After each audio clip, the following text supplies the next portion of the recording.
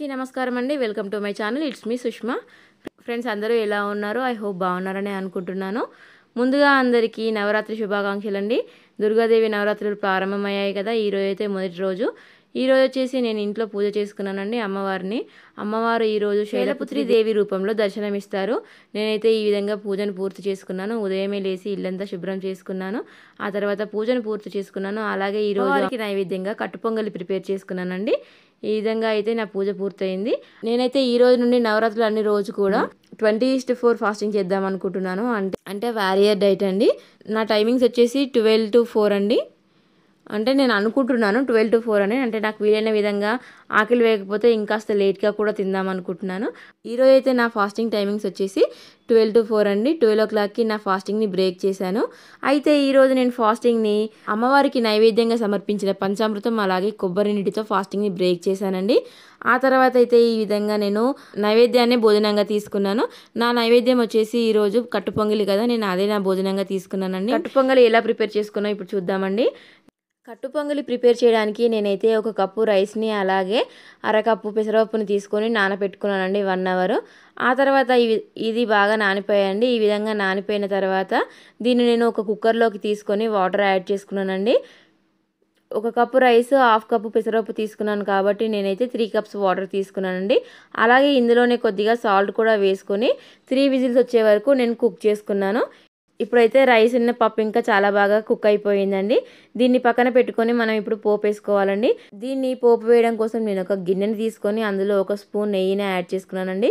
ఇది ప్యూర్ నెయ్యి అండి ఆవు నెయ్యి. అమ్మవారికి కానీ మనం దేవుడికి కానీ నైవేద్యం ఎప్పుడు సమర్పించినా కూడా ఆవు నెయ్యి ఆవు పాలు మాత్రమే వాడాలండి. ఎందుకంటే అవి చాలా శుద్ధమైనవి. అందుకోసం అని చెప్పేసి నేను ఒక స్పూన్ అయితే ఆవు నెయ్యి తీసుకున్నాను. నెయ్యి వేడెక్కిపోయిందండి.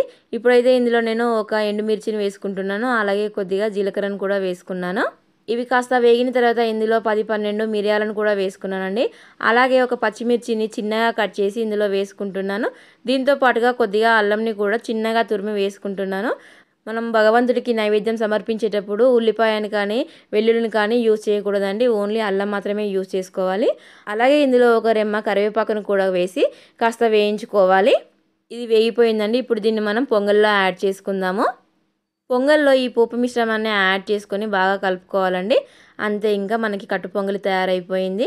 మనం ముందుగా పోపు వేసుకొని ఆ తర్వాత పొంగల్ని కూడా ప్రిపేర్ చేసుకోవచ్చండి. నేనైతే ముందుగా రైస్ని ప్రిపేర్ చేసుకొని ఆ తర్వాత పోపు వేసుకుంటున్నాను. ఈ విధంగా మనం కట్టు పొంగల్ని ప్రిపేర్ చేసుకొని అమ్మవారికి నైవేద్యంగా సమర్పించాలి. మొదటి రోజు అమ్మవారికి నైవేద్యంగా ముఖ్యంగా కట్టు పొంగల్ని సమర్పిస్తారండి. అందుకోసమే నేనైతే ఈరోజు కట్టు పొంగల్ని ప్రిపేర్ చేసుకున్నాను. అలాగే దీన్ని నా భోజనంలో తీసుకున్నానండి. ఇందులో మనకి ప్రోటీన్స్ చాలా బాగా ఉంటాయి కదా పెసరపప్పు నుండి. అందువల్ల మనకు ఫుల్ ఎనర్జీ ఉంటుంది. మనం ఉపవాసం చేస్తున్నా కూడా మనకి ఆకలి వేయకుండా ఉంటుందండి. సో అమ్మవారికి నైవేద్యం పెట్టడం కోసం అయితే నేను ఇందులో తీసుకుంటున్నాను. మనం కావాలనుకుంటే ఇందులో ఇంకాస్త ఎక్కువ వాటర్ యాడ్ చేసుకొని లూజ్గా కూడా ప్రిపేర్ చేసుకోవచ్చండి. దీన్ని అయితే నేను అమ్మవారికి ఉదయమే నైవేద్యంగా సమర్పించానండి. ఆ తర్వాత నేను లంచ్ వచ్చేసి ట్వెల్వ్ ఓ క్లాక్ తీసుకున్నానని చెప్పాను కదండి. పన్నెండు గంటలకైతే నా ఫాస్టింగ్ బ్రేక్ చేశానండి. నా ఫాస్టింగ్ నేనైతే అమ్మవారికి నైవేద్యంగా సమర్పించిన పంచామృతం అలాగే ఇంకా కొబ్బరి నీటితో నేను బ్రేక్ చేశాను. ముందుగా నేను తీర్థం తీసుకొని ఆ తర్వాత అమ్మవారి నైవేద్యాన్ని ప్రసాదంగా స్వీకరించాను. నా భోజనంలో నేనైతే కట్టు పొంగలితో పాటుగా ఈ కర్రీ ప్రిపేర్ చేసుకున్నాను. ఇది వచ్చేసి పాలక్ పన్నీర్ కర్రీ అండి. దీంతో నేను మష్రూమ్స్ యాడ్ చేసుకున్నాను. అలాగే ఒక కీర దోస ముక్క ఇంకా కొద్దిగా పెరుగును కూడా తీసుకున్నానండి. సో ఈ విధంగా అయితే నా మీల్ని కంప్లీట్ చేసుకున్నానండి. ఇది చాలా హెవీగా అనిపించింది. నాకైతే ఆకలి అసలు వేయలేదండి. ఇక ట్వెల్వ్ ఓ క్లాక్కి ఈ భోజనం చేసిన తర్వాత నేనైతే చాలాసేపటి వరకు ఏమీ తినలేదు. ఆకలి కూడా వేయలేదు. అసలు తినాలని కూడా అనిపించలేదు. ఆ తర్వాత ఫోర్ ఓ క్లాక్ అయితే నేను కప్పు పాలు తీసుకున్నానండి. లో ఫ్యాట్ మిల్క్. వీటితో పాటుగా నేను ఎటువంటి షుగర్ యాడ్ చేసుకోలేదు. అలాగే ఒక బనానాను కూడా తీసుకున్నాను. ఇంతటితో అయితే నా ఈటింగ్ విండో కంప్లీట్ అయిపోయిందండి. Twelve to four o'clock అయితే నా ఈటింగ్ విండో. సో నా ఈటింగ్ విండో కంప్లీట్ చేసుకున్నాను. ఆ తర్వాత నేను ఎటువంటి ఎటువంటి ఫుడ్స్ తీసుకోలేదండి. ఇంకా ఏమి తినాలని కూడా అనిపించలేదు. ఓన్లీ వాటర్ మాత్రమే తీసుకున్నాను.